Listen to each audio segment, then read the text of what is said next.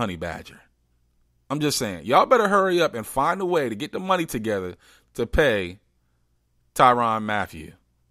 That's another question that y'all need to make sure y'all done solidified everything else around the offense, but you haven't taken care of one of your special players on defense. KC, get right and get right quickly. All right, listen, y'all. Another timeout. Got to pay a little bit more bills, but on the other side, y'all, y'all what time it is, man. Don't be playing with your brother. Y'all go ahead and come on back. We got more of what you came here for. It's stop playing on the other side. This is the Playbook Podcast.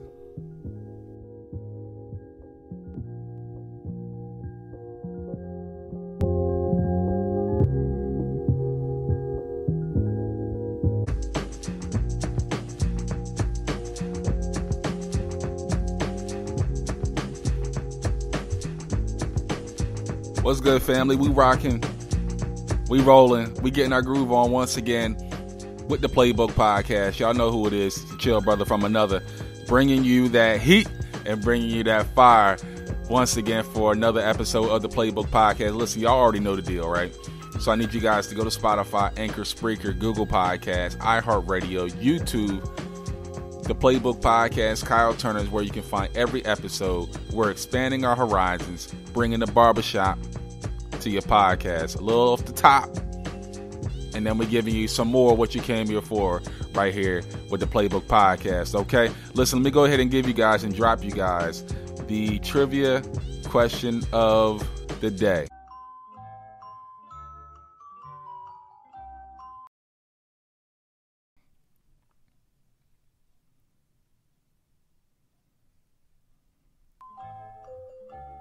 So, once again, the trivia question of the day was this What Motown singer tried out for the Detroit Lions in 1970? Again, what Motown singer tried out for the Detroit Lions back in 1970? The answer to the question is the incomparable Marvin Gaye, who tried out for the Detroit Lions in 1970. My man bulked up 30 pounds just to try to make the team.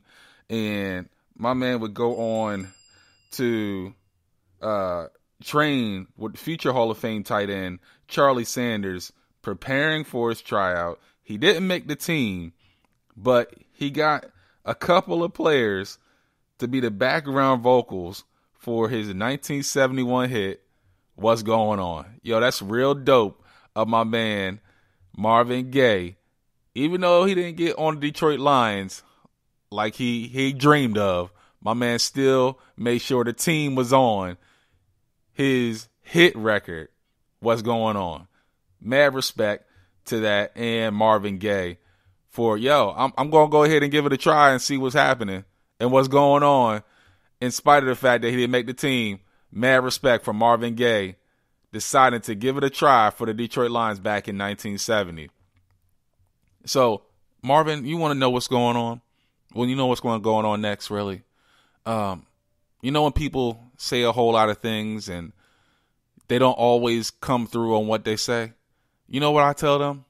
Yo, stop playing, man.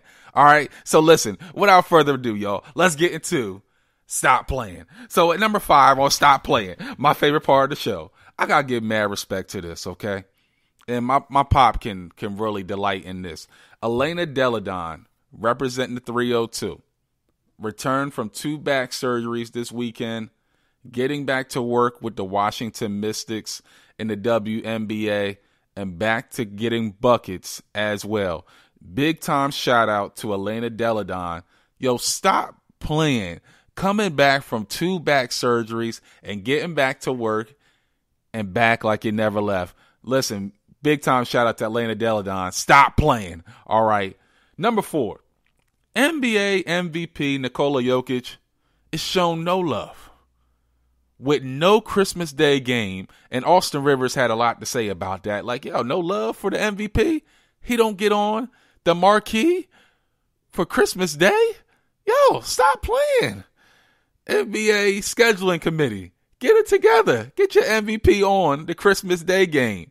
The biggest game of the year. Come on, man. Stop playing. All right, coming in at number three, Russell Wilson was outside the top 10 for the NFL 100. Listen, man, I don't, I don't, I don't get it. I personally don't get it. Russell Wilson is always 40 touchdowns, 13 interceptions, over four, 4,200 yards last season. And my man don't get no love in the top 10 of the NFL 100. Yo, stop playing. Whoever made these, stop it.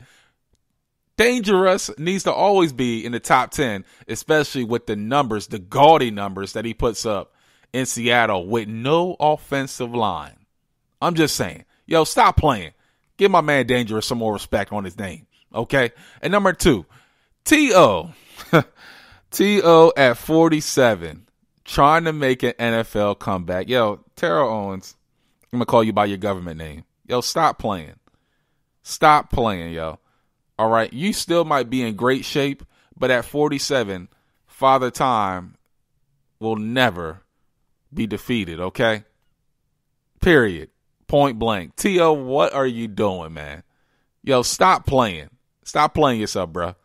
Stay retired and keep making your cheese in other ways. But coming in at number one, number one, I don't ever in my entire life want to see Ben Simmons hitting threes and step back jumpers and open runs. So whoever, I'm um, sorry, let me call you guys out by name. Swish Cultures, stop putting out all these different videos of Ben Simmons knocking down threes and step back jumpers and open runs when we know he's not going to shoot these same shots in an NBA game. Yo, Swish Cultures and Ben Simmons, stop playing.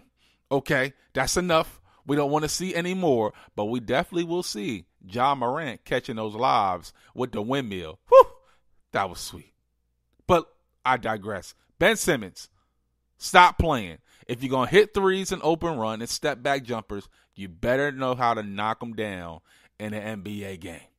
I'm just saying. All right. Listen, y'all, we got some more bills to cover, but we get the dessert for your soul on the other side. We got the championship speech right around the bend. So we're going to go ahead and run it back. Y'all better catch the live on the other side. This is the Playbook Podcast.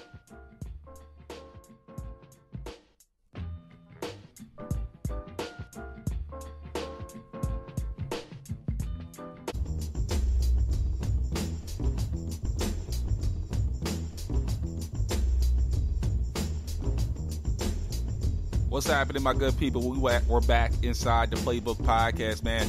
Listen, this episode has been another gem for you guys, man. I appreciate you guys continue to rock out with your brother from another. And as always, y'all, I need you guys seriously to help us spread the good news of the Playbook Podcast. It's not the gospel, but listen, it is good news from coming from your chill brother from another and listen, as always, go to Spotify, Anchor, Spreaker, Google Podcast, iHeartRadio, the YouTube channel as well. The Playbook Podcast is where you can find all the new and fresh content that you need. And listen, we're just bringing a barbershop and bringing it to your podcast, okay? So listen, man, we didn't kind of ran through everything. We didn't going through the NBA, the NFL. We didn't stop playing but I gotta give you guys some food for your soul, your mind, and your spirit to give you and get you through the week that is to come. So listen, y'all, without further ado, let me get you guys hyped up and ready. It's time, y'all, for the championship speech. So, family, with the championship speech, I didn't really touch on it in the beginning. But this week, I want to kind of talk to us about transition defense. And you know, like, yo, transition defense, bro. What you talking about, man? Listen, let me give you, let me put you, keep you guys on game real quick, okay? Transition defense, and of course, you know, with basketball, um, the championship level teams are good at talking, getting back on defense. You know, I'm I'm prolific for being a, a big time talker on defense and getting back on defense as well. Transition defense, I'm gonna go ahead and break it down for you. Transition word by word. Transition, a process or a period of changing from one state or condition to another. With defense, the definition, the action of defending from or resisting attack. The action or role of defending one's goal against the opposition. Now, in basketball and football, the most prolific teams play good transition defense or they tend to be good at shutting down the opposition in the red zone. Although championship teams usually have a tremendous defense, they don't always stay on the defensive. There is a point where the responsibility to come through falls on the offensive side of the ball. Same thing goes for life. We can't stay on the defensive side all the time. Most of us, including myself, find ourselves constantly on the defensive with people reminding us of our past failures, disappointments, and even our mistakes. When you combine that with your own, or in our case, our own insecurities and condemnation, you create a formula where we're stuck defending and protecting and never advancing offensively with our future goals.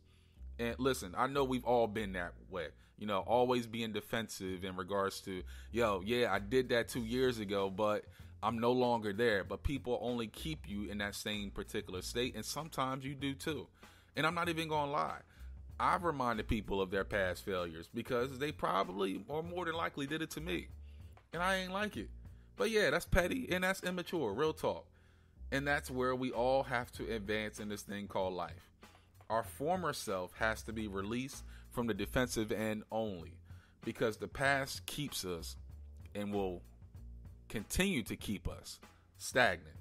Let's learn how to balance being on defense from our past. Yeah, take ownership, take accountability, own your stuff, right? But don't let people keep you trapped in two or three years ago. Don't even keep your own stuff there.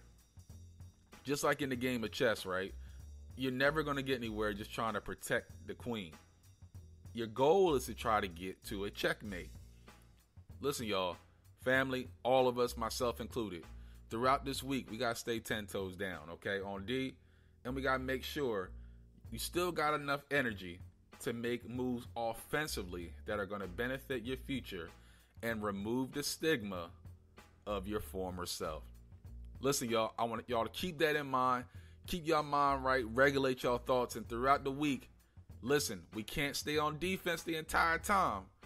We got to make moves on the offensive side of the ball as well. Listen, y'all, it's your chill brother from another. Another. I'm gonna go ahead and sign out. I'm gonna go ahead and uh, kick my feet up and relax uh, for the rest of the evening. But listen, y'all, I want you guys to keep that in mind. And until next time, it's your chill brother from another. And this has been the Playbook Podcast.